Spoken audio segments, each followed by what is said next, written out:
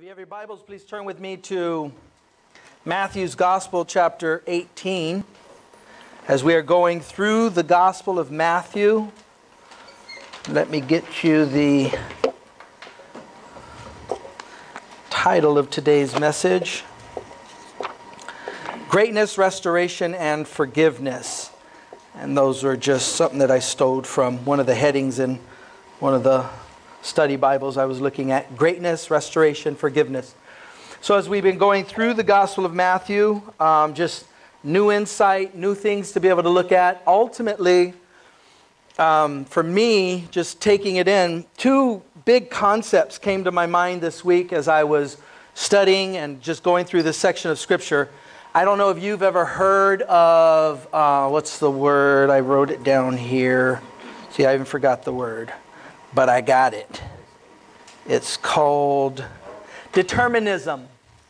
If you've ever heard of that word, determinism. So there are some who believe that everything in your life and in my life is determined. The secular definition of that word, let me read it to you. The doctrine that all events, including human action, are ultimately determined by causes external to the will. Some philosophers have taken determinism to imply that individual human beings have no free will and cannot be held morally responsible for their actions. And again, part of why that came to me, but uh, part, of, part of why that came to me was as I'm going through, I'm thinking, well, do we have a choice in the matter? Are we free will moral agents to do as we determine? As we determine, not it's determined for us that God is going to, behind the scenes, do it all, if you will. And so we are just passive participants in this thing called life. And this is where it came from. It came from the current culture that we're living in and the ailments that people have, the sicknesses or the, the, the diagnosis. And I notice a lot of times those things um, it affects our behavior. It affects the very thoughts that we think and how we take that all in. And so I wouldn't believe uh, that God would command us to do something that He would not equip us to do. But at the same time, can we really resist that? Can we really say, no, or, or I don't have the ability to? And so that's where that came from. I've always thought about it like this. Um, I don't know if you guys remember when Oprah Winfrey was fat. But back when Oprah Winfrey was Oprah Winfrey was fat, I used to say, "Well, I don't think it would be fair if you had this expectation of Oprah Winfrey to run a 40-yard dash in 4 seconds or less. That's like world-class speed. 5 5 seconds would be incredible, Olympic level, right? And so she she doesn't have that ability. A person of that size doesn't have the ability to be able to do that. And so the expectation for them to do something like that would be putting an expectation that is beyond their ability. On the other hand, the definition of free will as a biblical definition, it says the Bible, paralleling Adler, views all humanity as naturally possessing the free choice of will. If free will is taken to mean unconstrained and voluntary choice, the Bible assumes that all people, unregenerate and regenerate, possess it. Now, you would think, Johnny, why are you doing this? Of course, we have a free will. Well, there's an entire section of Christianity that teaches, in five point Calvinism, Reformation theology, that you don't have a free will. And that is the predominant voice right now in Christianity. For people who are in the know, it's a very um, Reformation theology is a very prideful doctrine because uh, it says that I'm chosen and you're not, those who are going to hell, I, and you're not, and so therefore I'm in this, this exclusive category, but somehow God chose me, but He didn't choose you. And this is some weird, weird dynamics in that whole thing. Again, when we come to church, as I opened up in prayer before we started, it, it's supposed to be different than anything else in the world, and it's not a passive event. It's not we come to listen. Hopefully, we come because we've prayed and we've asked God to speak through His Word. And, and God knows where you're at, and God knows your struggles, and God knows your weaknesses, and God knows all of the things that surround your life, and He knows your propensities.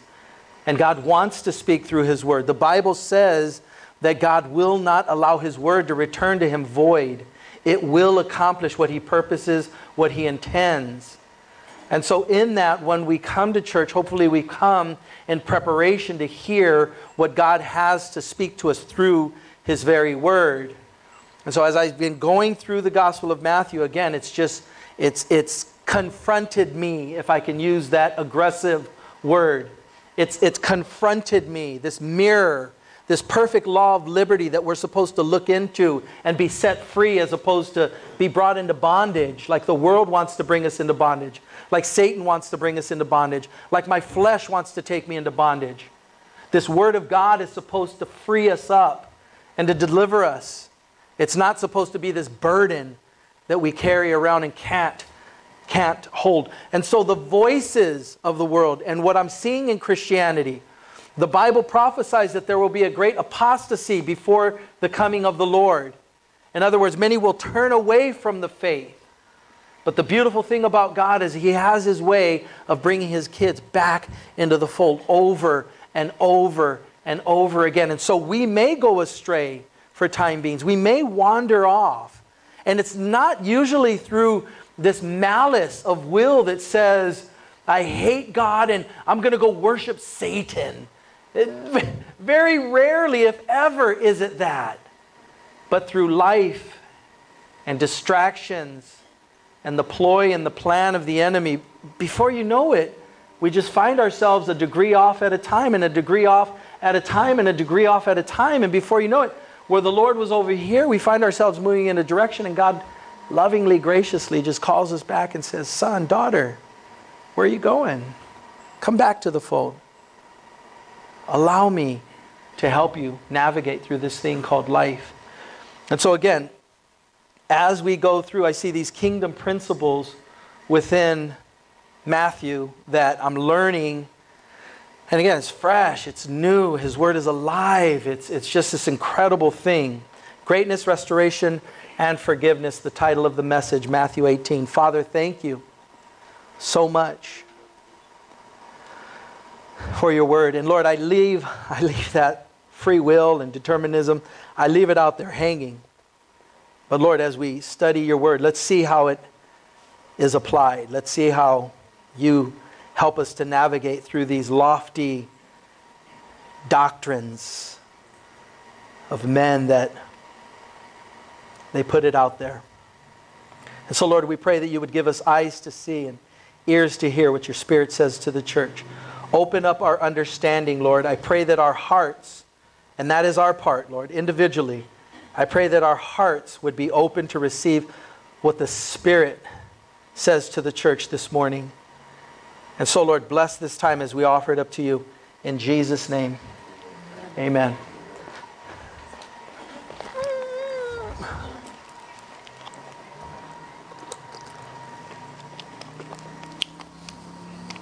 We had just learned in chapter 16 in Matthew's Gospel that Jesus said, If anyone desires to come after me, let him deny himself, take up his cross, and follow me. And that's a tall order to deny yourself and then to die to yourself and then to follow after Jesus. But that right there, in a nutshell, is discipleship. That right there, in a nutshell, is Christianity. That right there is what God is calling each one of us to. We saw when Jesus went through the parabolic ministry in Matthew chapter 13, he had mentioned the, the contrast between wheats and tares, that they would grow up simultaneously, if you will, in the church true believers and unbelievers growing up in the church of, of all places. And it was asked of his disciples, Lord, should we, should we pull out the, the wheat, the tares, the weeds? And he said, No, that's going to be done at the end of the age. That's going to be done when it's all said and done. I'll send the angels, and they're going to take what offends. And so, a lot of offenses in this chapter as we see it. Matthew 18, verse 1 At that time, the disciples came to Jesus, saying, Who then is greatest in the kingdom of heaven? If that were the question and that's what they were asking, it would be great. But Luke's Gospel, chapter 9, gives us the actual content, context of what they were asking. They wanted to know who of them was the greatest.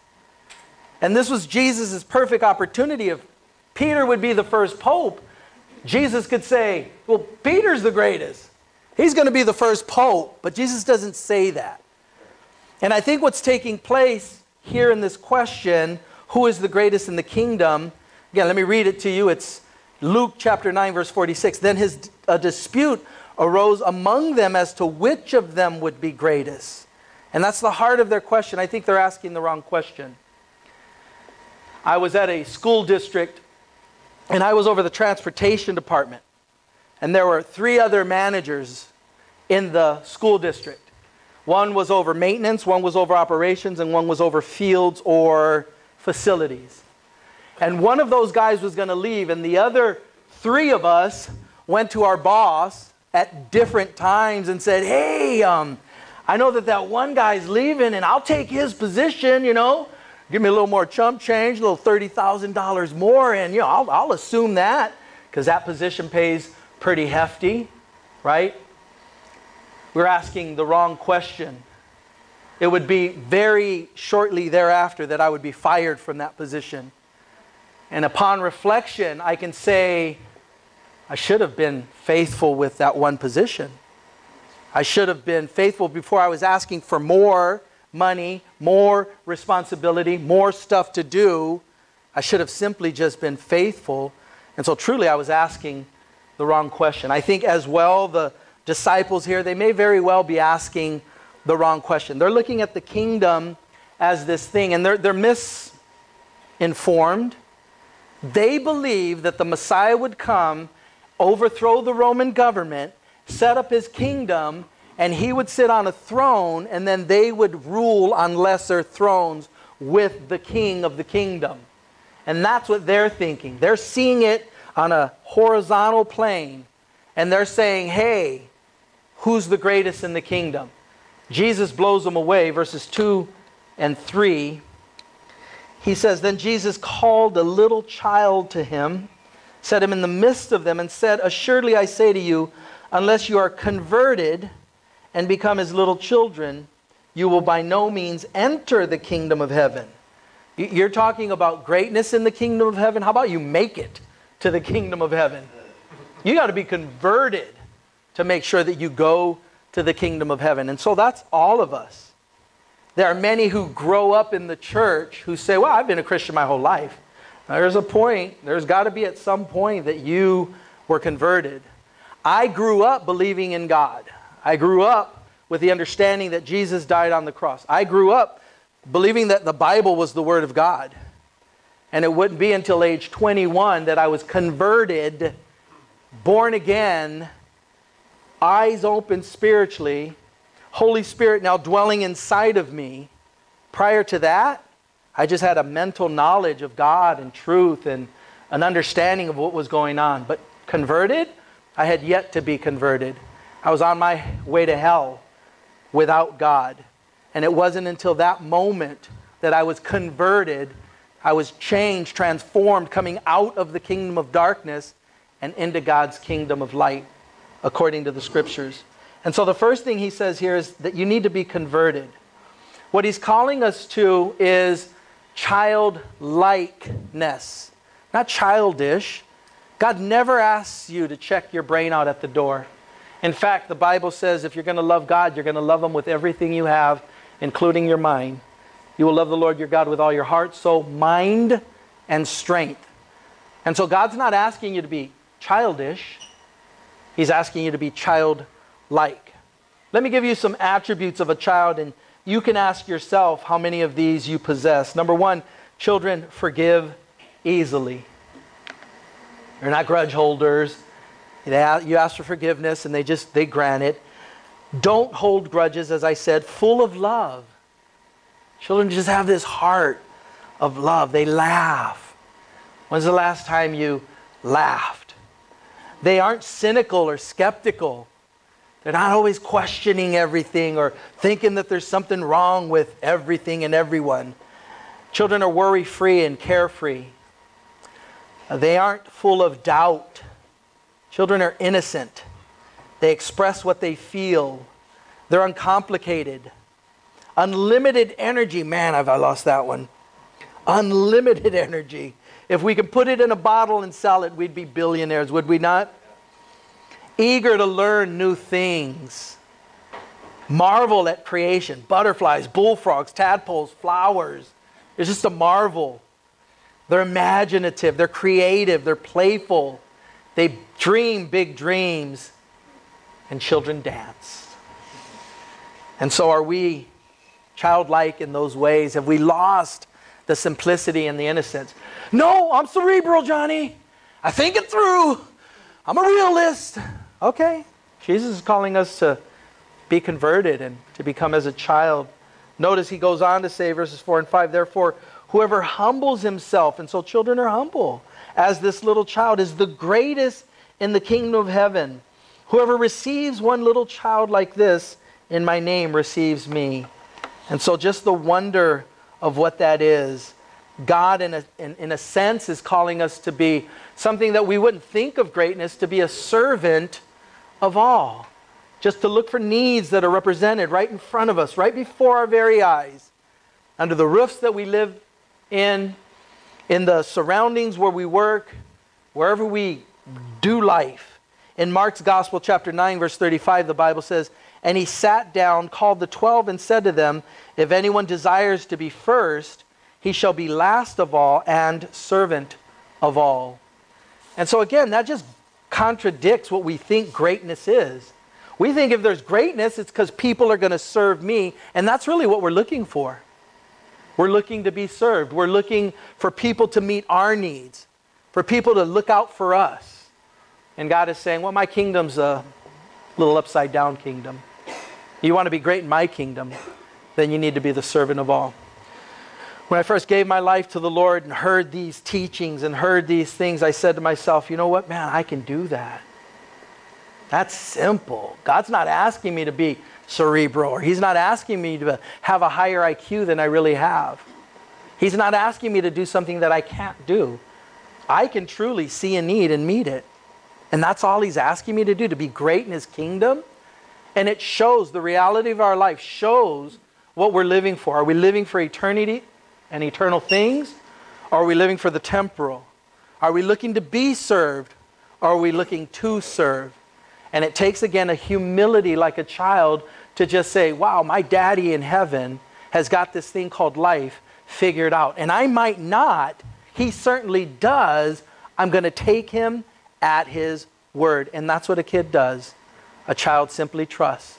If I were to take a table and set a child on that table and say, fall back and I'll catch you, they would do it joyously. They would like, oh, wait, I wasn't ready. Oh, hold on, I, I gotcha. They simply trust. Put an adult up there. Wait, wait, hold on. Sure you don't want to put some mats down first? Put some mats, you know. I'm kind of big. Been growing a little bit. You know, you got three guys, right, to catch me? You've done this before? Let me see your credentials. And we question and we doubt and we have to make sure that it's taken care of. And God is calling us to trust Him. Who are we trusting? He's got the whole world in His hands. Who are we trusting? We're trusting one who sits from a perspective where He sees everything.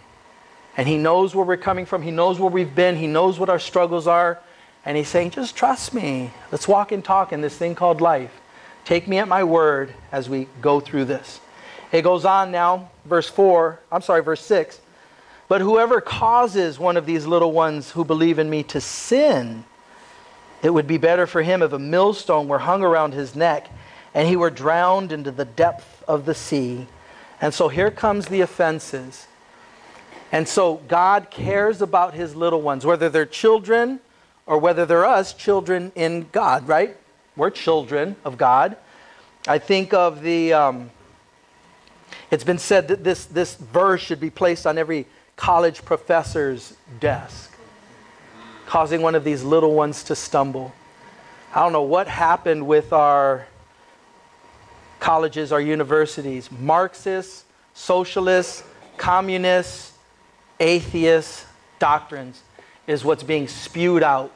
And I wondered, as I went to took college courses back in the mid 80s, late, uh, early 90s. I just thought, man, this is really like, this is going to have to have some effect on our country at some point because this is what they're teaching, this is what they're ultimately going to believe, and these people are going to become the leaders of our world at some point, our country, and we're seeing, I believe, the repercussions of that. We're seeing the outflow of that. Like, who in their right mind would ever want to live in a socialist, communist country? Communist is atheism, doesn't believe in God. And so it's just, it's, it's amazing how we see what's taking place in our world right now. But in that, God's serious about one of his little ones being offended.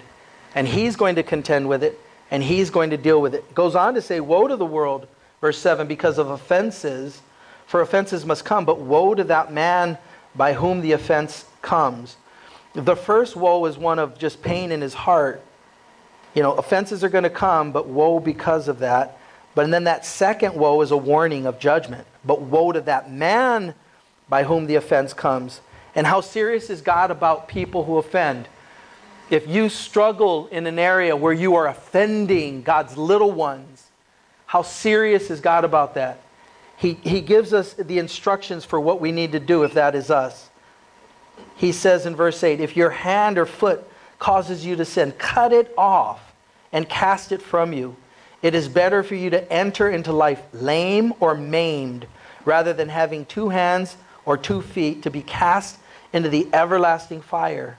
And if your eye causes you to sin, pluck it out and cast it from you. It is better that you enter into life with one eye rather than having two eyes to be cast into hell fire. Jesus spoke more about hell than all of the writers of the Bible combined. And he's saying, deal with this definitively. If this is your habit of offending my little ones, deal with it definitively. Cut it off, pluck it out, do what you have to do. I don't think this is literal. if, I'm, if I'm sinning with my right hand, I got a left hand. If I cut my right hand off, if I'm sinning with my right eye, I still got a left eye to sin with, right? He's saying, deal with this definitively. Go to whatever necessary extremes you need to to make sure that you do not offend my kids. He goes on, verse 10 Take heed that you do not despise one of these little ones, for I say to you that in heaven their angels always see the face of my Father who is in heaven. And that's where we get the idea that maybe we have a guardian angel. We know that in Hebrews chapter 1 and 2, uh, angels are given to those who would inherit salvation watch out for them and to help them along, according to the scriptures. So whether we all have one guardian angel or many angels looking out for us, well, at least right here, we see the understanding that they have an angel that is in heaven. Verse 11 For the Son of Man has come to save that which was lost. And then he gives us a little parable. What do you think? If a man has a hundred sheep and one of them goes astray, does he not leave the 99 and go to the mountains to seek the one that is straying? And if he should find it, assuredly I say to you, he rejoices more over that sheep than over the 99 that did not go astray. Even so, it is not the will of, the fa- of your Father who is in heaven that one of these little ones should perish. And so we are those little ones. In Philippians chapter 1, verse 6, the Bible says that he who is, has begun a good work in you will be faithful to complete it. I may go astray. I may get off the beaten path. I may leave the safety of the corral where the 99 are. But God promises that He'll come seeking me and He'll find me and He'll bring me back into the fold. And so we see three things about God's love in this little parable that He shares about the one sheep that's straying. Number one, God's love is unconditional. His love is independent of the obedience of the sheep. Notice he didn't kick the sheep, he didn't beat the sheep, he didn't go and chastise the sheep. His sheep was straying, and he left the 99 and he went to go after that one that is straying. Even to the mountains, it says here in verse 12. And go to the mountains to seek the one that is straying. And so, yes, there's an apostasy coming in the end times. Yes, many will turn away from the faith, many will leave the church. Cathedrals empty in England, just throughout Europe. And so many will leave, but God's kids somehow make it back. How God does that, how it's, it's figured out again. Working with my free will and yet the sovereignty of God and participating, cooperating, some way, somehow, those sheep find their ways back into the fold. God's love is unconditional, number one. Number two, God's love is individual. He loves each of us as if there were only one of us. That's pretty powerful. God knows you, God knows me. He knows my weaknesses, He knows your propensities, He knows your idiosyncrasies, He knows your personality, He knows your the things you struggle with. He knows how He needs to speak to you. God's love is individual. He goes after that one. Number three, His love is emotional. When the Lord finds that lost sheep, He rejoices over it. And so the fact that God rejoices when we're lost but we're found and He brings us back into the fold, there's a rejoicing. And so God's love is emotional. Verse 15 Moreover, if your brother sins against you, go and tell him his fault between you and him alone. If he hears you, you have gained your brother. Now we get to church discipline, and it starts with step number one. It's a four step process. But the first step is I go individually and I confront this person that has sinned against me. Yes, I'm to be gracious. Yes, I'm to be forgiving. Yes, I'm supposed to let some stuff, you know, fall off my back like water off the back of a duck. But if I'm offended, I have a right to be able to go to this individual between me and that individual and let the offense be made known. This is, again, church discipline in a nutshell. What we do is we usually go to, we skip steps one and two, we go straight to step three, or we do all kinds of bad stuff. We gossip about it, we murmur about it, we complain about it. We do all kinds of stuff that the Bible doesn't tell us to do. If I'm offended by an individual, I get to confront that individual. And I use that word on purpose because there are non confrontational people in this world. I am one of them. Guess what? God says, get over it. Confront the sin. If you're offended and it's something that is sitting with you still, deal with it. Be a grown up. Go to that person and tell them their offense. I had an individual at work who, we had a meeting. And in that meeting, I used him as a negative example. I didn't name him, but the thing that he did, I used as a negative example, as I, I used another individual as well. And so these were some things that we're trying to get right in the department, uh, a direction that we want to go. And by the way, this thing happened and we don't want to do that. And then this thing over here happened and we don't want to do that. He didn't talk to me for three months. 90 days went by. And I kind of noticed and I was like, man, this is kind of acting different. I don't know what's going on. So I went to him and I said, hey man, is everything all right? I noticed you kind of come to work and you do your job and man, I appreciate that. Way to go. But I notice this has been, he goes, oh yeah, man, you don't even want to know. Dude, that meeting that we had, and I'm like, meeting? What meeting? Yeah, that meeting that we had? I said, bro, three, that month, three month, three month ago meeting? Yeah, that 90 day ago meeting that we had? Yeah, you used me and man, I was just, I was, I was offended. He said, bro, then why didn't you come and tell me that you were offended? Oh, you don't want to hear what came out of my mouth if I told you that. I said, then why did you wait 90 days? two, three days, wouldn't have let the dust settle, and you could have came to me, man to man, and let me know. And so he let me know, and then I told him, I kind of enlightened him. Well, this is why I did that, and this is how, why I did it, and the way I did it. And he was like, oh, okay, yeah, no, that makes sense. I see it now. I said, bro, why would you let this beef come, this strife, come in between me and you? God's heart is restoration. God's heart is reconciliation. God's heart is that we would be unified in the body of Christ. His kids in the kingdom should be unified. The Bible says in Romans 12, if it is at all possible with you, be at peace with all men. Some people don't want to be at peace with you, and so you do your best to try and do this. What happens when we go individually and we're able to talk to somebody? Reconciliation could happen, or they can shed some light on, oh, I didn't even see it from that perspective. Hmm, never thought about it like that. Okay, well, that's why you come, and that's why we have these conversations. And we can even leave the conversation agreeing to disagree. but at least God is honored in the process. Notice as we move on, step 2, verse 16. But if he will not hear, take with you one or two more, that by the mouth of two or three witnesses every word may be established. So, step number two is if I'm not received, if I'm received, then I've won my brother, I've won my sister. If I'm not received, then in that case, I take two or three witnesses. What happens with two or three witnesses? Sometimes I realize, oh, I thought I was high and mighty, and I was coming to you because you offended me, but I realize, huh, I, I have partial responsibility in this. I can apologize. And again, it's not who's right and who's wrong, it's reconciliation. It's bringing the, the relationship into restoration because God is glorified in unity. Moving on, notice the third step, and if he refuses to hear them, tell it to the church. Again, that's the one that people like to come to right away.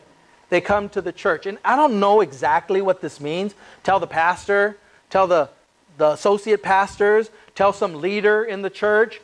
The purpose of this whole thing is excommunication for the individual that is not obeying it. Restoration is God's heart. We want to see reconciliation in relationships. But if somebody is a bad apple and they don't want to receive it, then they need to be excommunicated so that they can feel the brunt of the discipline, so that they can repent, ask for forgiveness, and then be restored. Again, we're trying to get to restoration, but it's a process sometimes. So, true story I was one of 18 associate pastors at Calvary Chapel Downey, and I oversaw a ministry. And there was this guy that we needed to church discipline. It had come to our attention that this guy needed to experience church discipline. It got to the stage where we excommunicated him. And I'm the one that had the conversation and said, okay, this is your this is your mandate. This is what you have to do. If you go to another church, you have to tell us what church you go to so that we can call that pastor and let him know what happened so that he knows what he's dealing with. But don't join ministry. You have to stay off of church ministry. Just sit under the word and grow in the word, right? He left and never never did what we asked him to do. Roxanne and I are watching the news one day, and on television, this guy is at a church with a gun in his hand shooting at the police as they are shooting at him. And we're like, what the heck? Man, the church discipline thing works here, Jesus. Thank you. It wasn't shooting at me, right? And so, church discipline is a serious thing, and God is saying we should take these steps serious. We need to be careful to go through we don't want to offend unnecessarily, but there are offenders within the church. Jesus is saying, Woe to those offenders. I will deal with them. He ended up going to jail, of course. You can't shoot at the police and have them catch you. Okay. Notice the last step in this, uh, at the verse 18, it says, um, I'm sorry, verse 17. But if he refuses, uh, tell it, uh, where is it? But if he refuses Verse 17, and if he refuses to hear them, tell it to the church. That's the third. But if he refuses even to hear the church, let him be to you like a heathen and a tax collector. And that's the excommunication. Now, the heathen is still to be loved, the tax collector is supposed to be loved, but what Jesus is saying here is he's an unbeliever.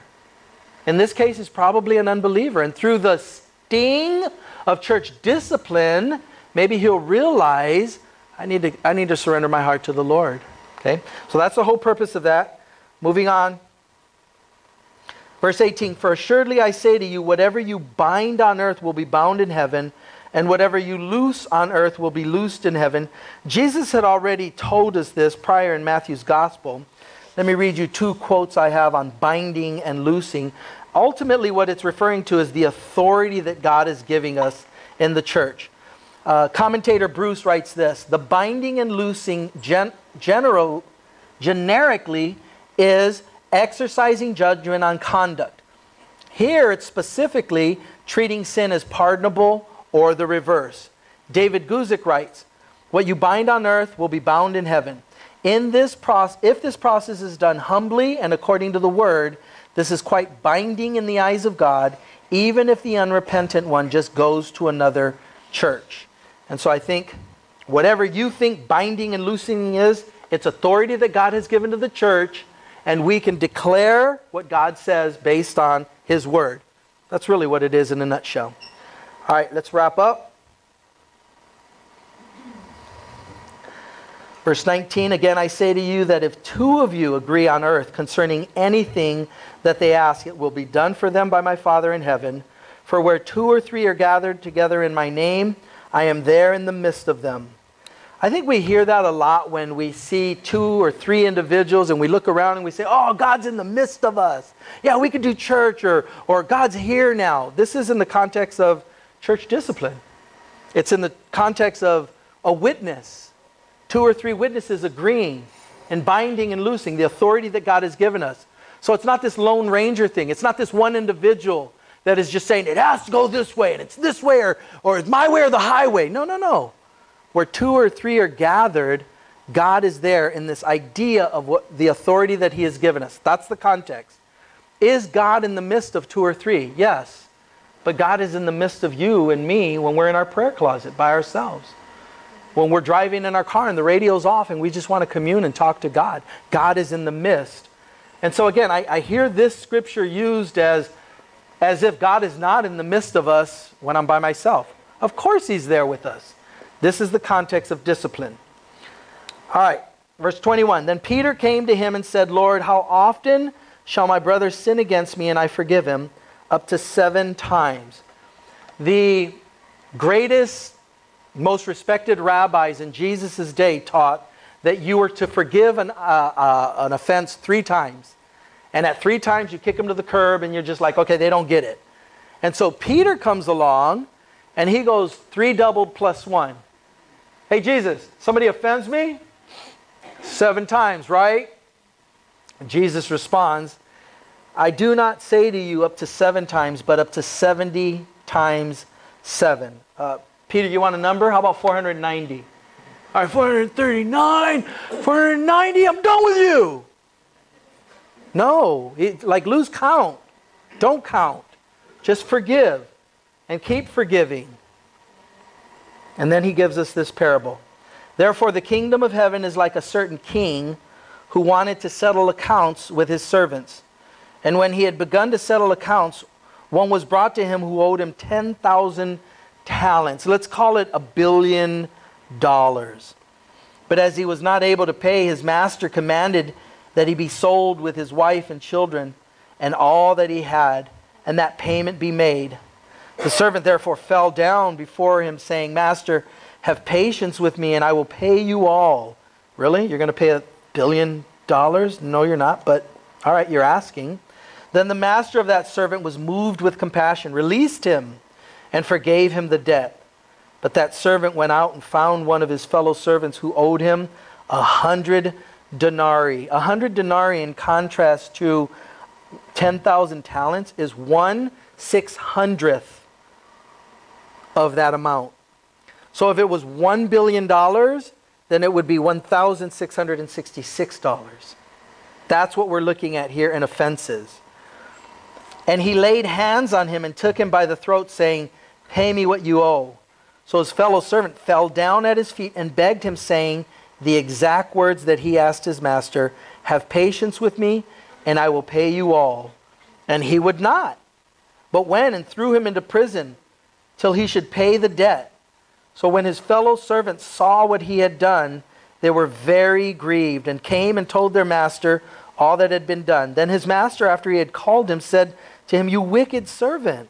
I forgave you all that debt because you begged me. Should you not also have had compassion on your fellow servant, just as I had pity on you? And his master was angry and delivered him into the torture to the torturers until he should pay all that was due to him. So my heavenly Father will do to you if each of you from his heart does not forgive his brother his trespasses. And so Peter comes to Jesus and says, If somebody offends me, how many times should I forgive him? Seven, Jesus? Jesus says 490. 70 times seven. Keep forgiving until you lose count. And then he gives this parable. One guy owes a billion dollars to his master. And he comes and he begs him and says, Forgive me my debt. And he forgives him. And then that same individual finds somebody who owes him $1,666, grabs him by the neck on a chokehold, and says, Pay me everything. And he throws him into prison And then somebody tells the master, and the master comes and says, Bro, I forgave you a debt that you couldn't pay. Somebody owed you a minuscule amount, and you didn't forgive him? And then the whole thing, it comes to us. We've been forgiven a debt as Christians that we couldn't pay. God forgave us and is allowing us to go to heaven. And then he says the audacity of us to harbor unforgiveness towards people. Now, why is God saying this? I think it's for the benefit of us. Harboring unforgiveness is like eating rat poison and waiting for the rat to die. I eat the rat poison and then I'm waiting for the rat to die, and God says it's going to pollute you. It's going to poison you. It's going to make you bitter from the inside. And people all around you are going to be able to see it that you are harboring this unforgiveness. And so we need to be very, very careful. Why is God asking us to forgive? Because whatever was taken from us cannot be given back, it's already been taken. And I think that's very, very important for us to understand. It doesn't mean that we can't hold people accountable. It doesn't mean that we can't go to court and testify against somebody who's done some injustice to us. It means from the inside, we need to release them of the debt that they owe us because they can't pay it back. It's been taken. And God says, don't become defiled. On mission boards, people who want to go to the mission field, the number one disqualifying reason why people cannot go to the mission field is they harbor unforgiveness. And they've become bitter. And through the interview, you're able to determine this. You're able to see this. And what are they going to do with that bitterness in serving God? Go tell people how miserable they are on the other side of the world on a mission trip? God doesn't want bitter representatives. You're not representing this gracious, loving, forgiving God. You're harboring unforgiveness and you become defiled. The Bible says in Ephesians 3, 4.32, And be kind to one another, tenderhearted, forgiving one another, even as God in Christ forgave you. In Matthew chapter 6, Jesus would be asked, How can we pray like you, Jesus? And Jesus would give them what we call the Lord's Prayer, right? Our Father in heaven, holy be your name. On and on. Forgive us our trespasses, we forgive those who trespass against us. After that, he gives a commentary on one section of that prayer. And he says in verses 14 and 15, For if you forgive men their trespasses, your heavenly Father will also forgive you. But if you do not forgive men their trespasses, neither will your Father forgive your trespasses. I opened up with this idea of free will. I opened up with this idea of determinism. I opened up with this idea of apostate, that the church in the last days will be apostate. If you look at the church today, it is a group of individuals that live in the most autonomous culture that has ever existed in America, and we are extremely self willed. We do what we want, to the degree that we want, when we want, how we want. It's crazy. It's crazy. But yet, God has this remnant, and he has always had a remnant. He has always had a minority stake in every community of people who have come out from the world and said, I do not own my life. He bought me with his blood, and he tells me how to live my life. He tells me what I need to do. It looks like I run the show.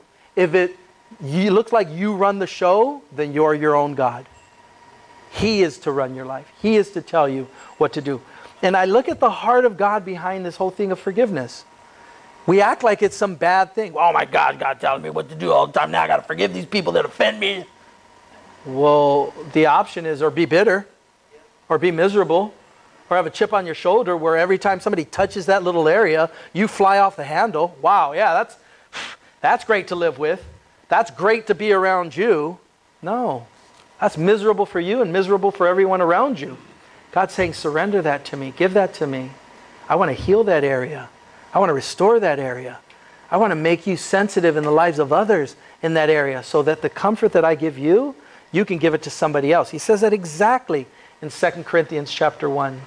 And so may we be very careful to understand that our lives have been purchased. God bought us, He owns us.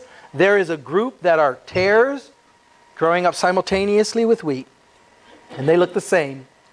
And what's at stake? Heaven and hell, eternity with and without God, going through the tribulation period that is.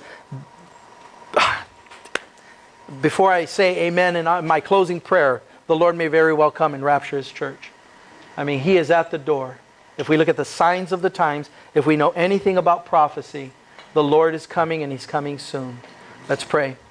Father, may we be sober minded about this thing called life that you have given us. And Lord, living in this culture, so autonomous. Lord, we get the impression that we get to run our lives. We get to pick and choose what we're going to do, when we're going to do it, how we're going to go about it. Or we can be a child of God in recognition that you are our Lord and you tell us what to do, when to do it, how to do it, to what degree. And so, Lord, I pray that we would be childlike in our trust for you, allowing you to lead us, to guide us, allowing you to strengthen us to do what you are calling us to do. In these last days, living in this world, I pray, Lord, that we wouldn't think so autonomously, that we would live life independent of you but Lord, thanking you for the autonomy that we have in this country and yet using it as a strength and not a hindrance, not a burden, but this wonderful thing, Lord, where you want to lead us and guide us each step of each day. So thank you so much for what you've blessed us with.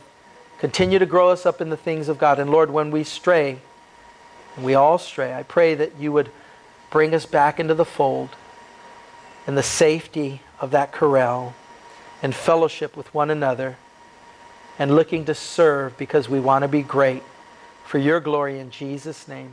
Amen.